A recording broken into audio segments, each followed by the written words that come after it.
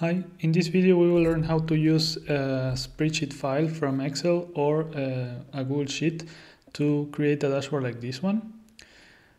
So the first thing is to load uh, the example template we have, create a new card or go to an empty card you already have, go to the examples tab and select the incident reports dashboard from Google Sheet. This will load uh, this example like this and the dashboard over here will be probably empty because uh, you don't have the data stored in your session. To load the data, you can do it in one of two ways. One is uh, to right click on this link for the Excel spreadsheet and save link as and save it. I already have it here.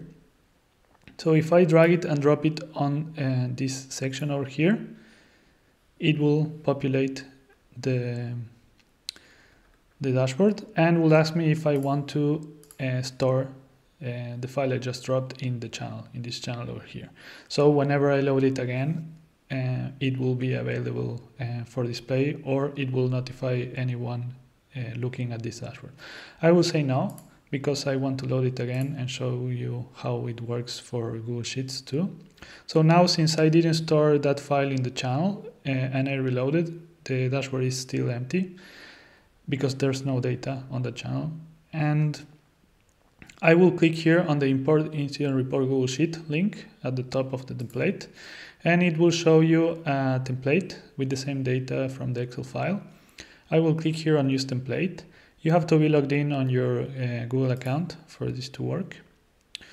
It will import this template into your account and uh, when it finishes loading, it will tell you that uh, it will recommend you to install uh, the Google add-on if you don't have it already.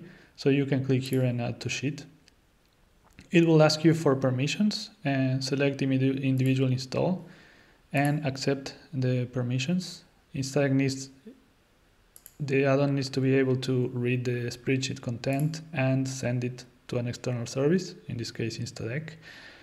So one, it's loaded, and the last step is to uh, connect our um, Google Sheet with our Instadeq account. For that, we need to go to the settings uh, dialog here on extensions. And at the bottom Instadeq spreadsheet, go to settings. And it will ask us to provide a hook URL. Uh, Hook URL is a unique URL that whenever a program, this add-on, a script, sends data to that URL, it will appear on the channel that is associated on Instadeq. So to create a hook URL on the spreadsheet card on the template or on any spreadsheet card uh, on your Instadeq session, go here on the top right to manage hook and select uh, the blue plus button on the right to create a new hook.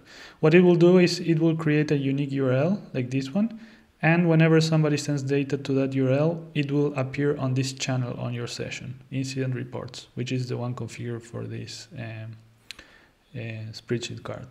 Now we need to copy this. You can either select it and copy it, or you can click here on the copy uh, button. And we can close this and go to the settings for our add-on and paste it uh, either right click paste or uh, control or command V depending on your language and keyword and click OK. So this is something you have to do only once per uh, spreadsheet. Set the hook unless you want to change it later. And once we are ready, um, I will move this to the side so that we can see how it updates instantly. I will set this to read only.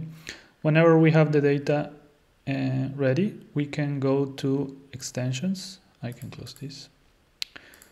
Inside spreadsheet and click send. And the dashboard will populate with data.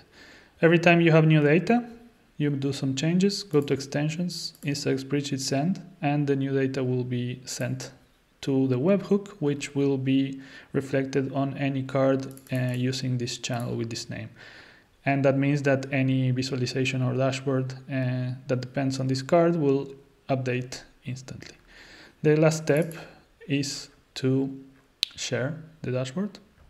So we click here on the share icon on the top right of, of the layout card, select the settings for our share and click uh, share and get the URL.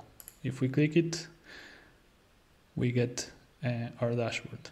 And whenever somebody sends new data, anybody looking at the dashboard will see the latest changes automatically. So this was how to use the incident report templates from Instadeq using an Excel spreadsheet or uh, the Google uh, the Instadeq add-on for Google Sheets. If you have any questions, uh, just leave it in the comment section below. Bye.